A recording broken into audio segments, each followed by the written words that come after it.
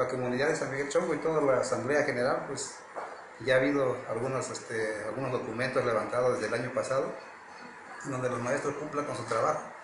Y sí, la comunidad de San Miguel Chongo pues, se pone en contra de, de ese movimiento magisterial. Si se va a ir a ese paro, al menos espero que los profesores estén pensando en no perjudicar a los alumnos y terminen su ciclo escolar como es correcto. Eh, para mí es un error de dejar un mes a los chamacos para este, sin clases, ¿sí? porque si ya cumplieron los profesores con el programa de trabajo que tienen, pues ni aún así pueden irse a paro porque tienen un compromiso de terminar el calendario escolar como lo está marcando la, la Secretaría de Educación.